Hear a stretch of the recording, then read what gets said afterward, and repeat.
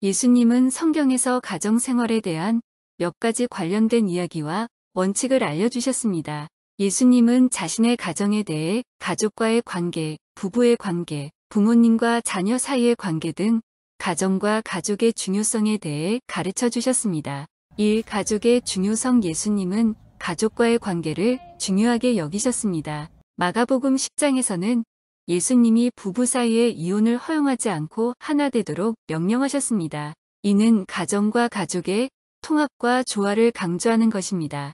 이 부모님과 자녀 사이의 관계 예수님은 부모님과 자녀 사이의 존경과 사랑을 강조하셨습니다. 마가복음 7장에서는 예수님이 부모님을 존경하지 않는 사람들을 꾸짖으셨습니다. 또한 에베소서 6장에서는 자녀들이 부모님을 공경하고 순종해야 한다는 가르침을 전하셨습니다. 3. 부부의 관계 예수님은 부부 사이의 사랑과 헌신을 강조하셨습니다. 마태복음 19장에서는 예수님이 결혼 생활을 일생 동안 하나하나와 조화롭게 살아가는 것을 가르치셨습니다. 사 배우자에 대한 사랑과 배려 예수님은 서로를 사랑하고 배려하는 부부의 관계를 강조하셨습니다. 에베소서 5장에서는 남편들이 아내를 사랑하고 아내들은 남편을 존경해야 한다는 원칙을 전하셨습니다. 예수님은 가정과 가족의 중요성을 강조하고 서로를 사랑하고 배려하는 관계를 촉구하셨습니다. 이러한 원칙들은 가정 생활을 건강하고 행복하게 유지하는 데 도움을 주는 가르침입니다.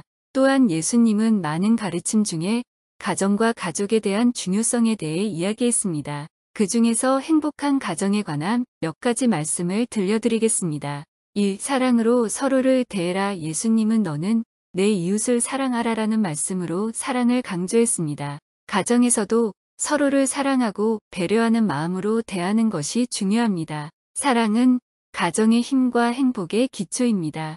이용서하라 가정에서는 때로는 오해와 갈등이 발생할 수 있습니다. 예수님은 용서와 관용을 가지고 서로를 이해하고 용서하는 마음을 갖는 것이 중요하다고 가르쳤습니다. 용서는 가정의 화합과 행복을 이끌어낼 수 있는 중요한 가치입니다. 3. 함께 기도하라 예수님은 가정에서 가족들이 함께 기도하는 것의 중요성을 강조했습니다. 가족 구성원들이 함께 모여 하나님 앞에서 기도하고 성경을 읽으며 영적인 교제를 나누는 것은 가정의 영적인 성장과 행복을 도모하는 방법 중 하나입니다. 4. 존중하고 섬기라 예수님은 서로를 존중하고 섬기는 마음을 가지는 것이 가정에서 중요하다고 가르쳤습니다. 가정 구성원들이 서로를 존중하고 서로에게 봉사하는 마음을 가지면 가정은 상호 간의 관계를 발전시키며 행복을 창출할 수 있습니다.